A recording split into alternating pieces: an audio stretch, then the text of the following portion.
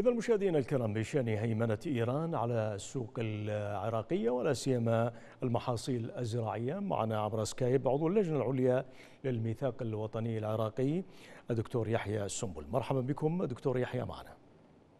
أهلا وسهلا بك وبمشاهدي قناة الرافدين الكرام. حياكم الله.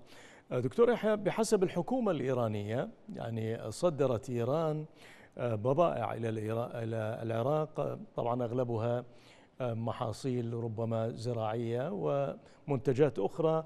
المهم كان المبلغ هو مليار و 600 مليون دينار في غضون شهرين آذار وآيار. يعني آذار ونيسان وآيار خلال ثلاثة أشهر. يعني هذا الرقم مبالغ فيه كبير. هنا يحق لنا أن نتساءل هل هذا المبلغ الكبير فعلا يعني صرف من أجل سلع مستوردة لا ينتجها العراق؟ أخي الكريم يجب أن نعود إلى السياسة الأمريكية في العراق ووقت الاحتلال وحالة التوافق ما بين إيران وأمريكا في على الساحة العراقية. أمريكا سمحت لإيران أن يكون العراق هو الرئة التي تتنفس منها. لذلك تمت السيطرة على كل مفاصل الدولة العراقية وأهم شيء هو القطاع الاقتصادي.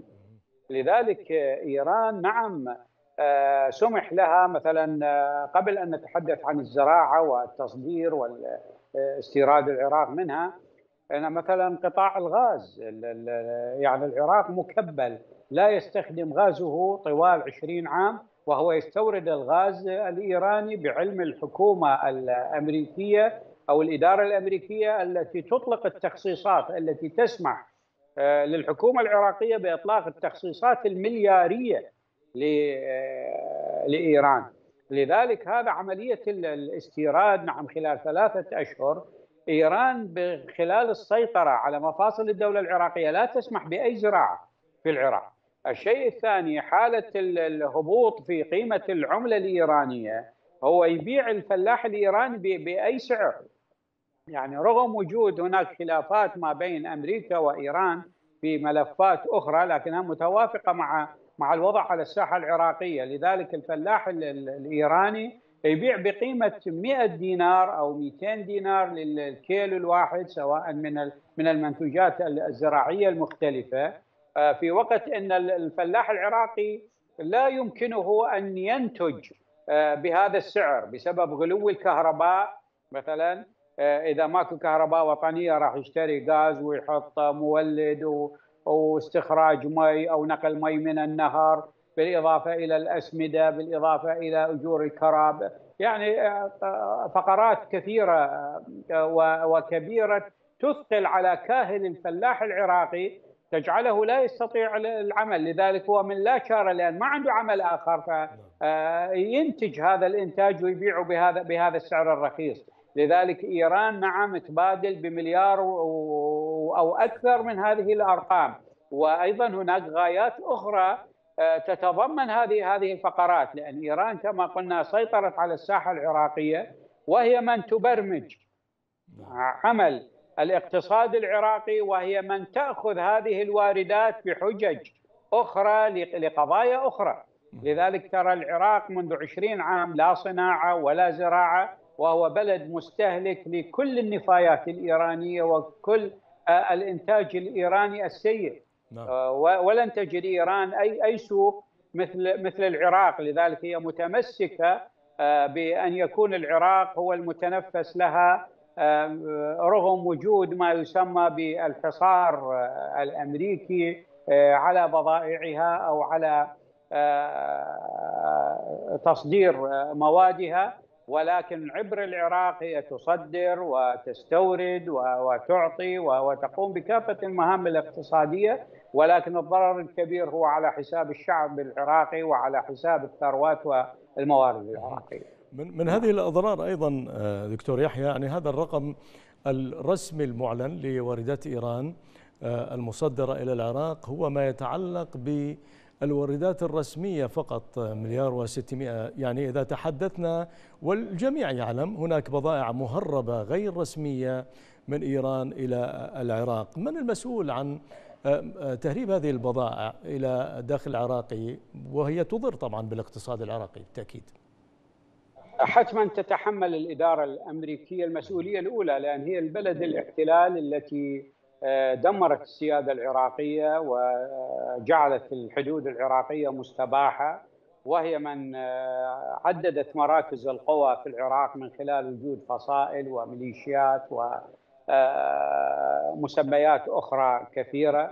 وهناك أيضا سيطر على كثير من المنافذ سواء الرسمية وغير الرسمية من قبل هذه الفصائل والميليشيات. آه، لذلك الإدارة الأمريكية تتحمل ذلك أن جعلت, جعلت العراق أسير للإرادة الإيرانية. تتحمل ذلك أمام القانون الدولي وأمام العالم وتتحمل أيضا الأمم المتحدة التي تتفرج آه، على ما يجري في العراق بوجود حكومة صورية تخضع للإرادة الإيرانية بشكل واضح وهي من تنفذ برامجها. لذلك الحكومة العراقية لم تقم أو الحكومات العراقية المتعاقبة منذ عام 2003 وإلى حد هذه الساعة. لم تقم بتشغيل المصانع الاستراتيجية لم تقم بعمل المشاريع الزراعية الكبرى التي تسد حاجة العراق والعراق كان مكتفي ذاتيا من القضايا الزراعية وخصوصا الحنطة خصوصا الثروة الحيوانية مثل الأسماك مثل الأغنام. ولكن الآن العراق في شحة كبيرة وصعود في, في الأسعار تثقل كاهل المواطن العراقي وتثقل القدرة الشرائية للمواطن العراقي. ومع ذلك العراق مفتوحة أبوابه للمواد الإيرانية سواء التي تأتي بشكل آه، رسمي أو تأتي عبر التهريب لا فرق في ذلك ابدا لأن هناك من يؤمن عملية الدخول وليس هناك من يمنع التهريب. آه، أصبح هذا واضح يعني.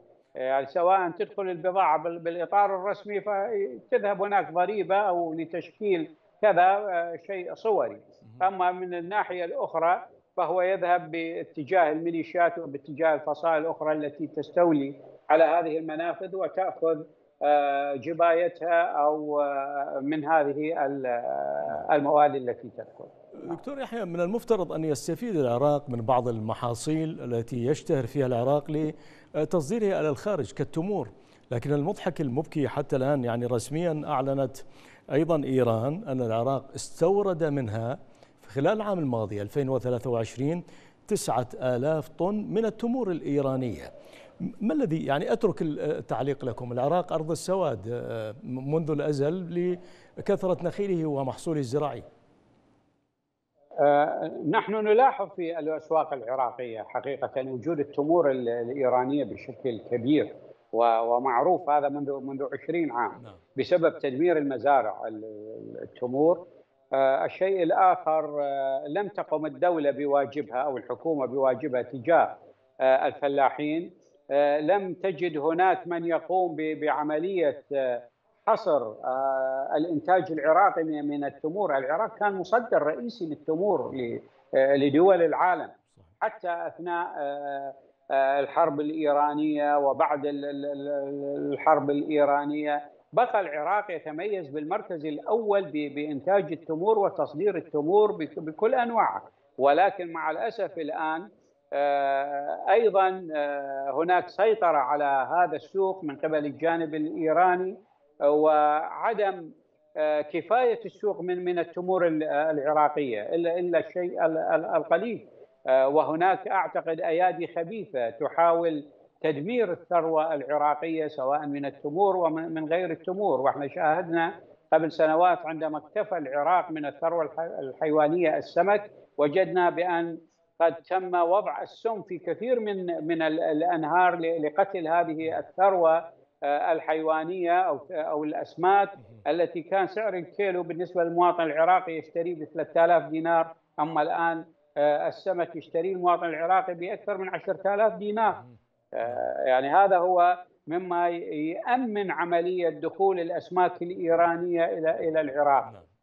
هذا هذا نعم. هو الذي يجري وأيضا بالنسبة للتمور العراقية تم تدمير كثير من آه، المشاريع الزراعية سواء من ناحية الجفاف من المياه أو عدم وجود خطة حكومية نعم. محكمة من أجل آه، القيام بواجباتها الزراعية من أجل الاكتفاء الذاتي بالنسبة للدولة. عضو اللجنة العليا للميثاق الوطني العراقي الدكتور يحيى السنبل شكرا جزيلا لك.